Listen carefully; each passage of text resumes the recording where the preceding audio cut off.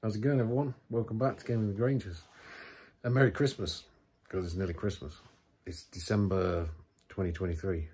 Because I'll just let you know that because I've, with this problem I've had when I've been off my PC for a couple of weeks, I've gone back on my Xbox controller, thinks it's the mouse. And I've looked a few videos and I can't find an updated version. So I've had to kind of figure it out myself. So yeah, uh, if you don't know, I'm going to show you how to do it.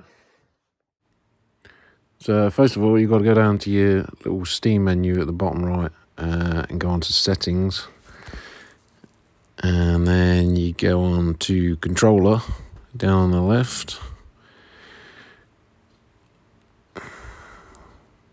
And then, where is it? You scroll right down to the bottom and you go on to edit on non-game. I can't remember what it says. Uh, but yeah, on here, mine was set to it wasn't set to that. I've already changed it. I'll show you. It was on recommended and it was on that. And you can see on the left, it's got all the keyboard keys and it's, I don't know why it's like that. So yeah, and even in your layouts, it says the same, not desktop configuration, I don't know why. But yeah, I just run templates. Then look, you just change it back to gamepad. And there it is. It's just basic, what it should be, just a gamepad.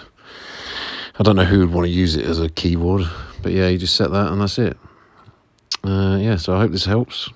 It helped me. Well, I had to figure out myself. So, yeah, drop us a like, and uh, I'll see you on the next one. Have a happy new year and a merry Christmas.